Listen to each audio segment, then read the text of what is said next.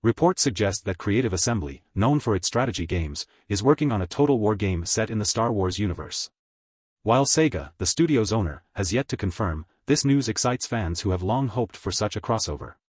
Creative Assembly has faced challenges recently, including cancelled projects and underperforming titles.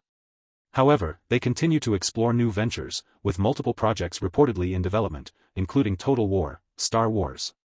Sega's recent layoffs have affected various studios, but Creative Assembly remains focused on its upcoming releases. Fans eagerly await further details, which may be revealed at upcoming events like Gamescom 2024. Thanks for watching, subscribe in my channel, bye.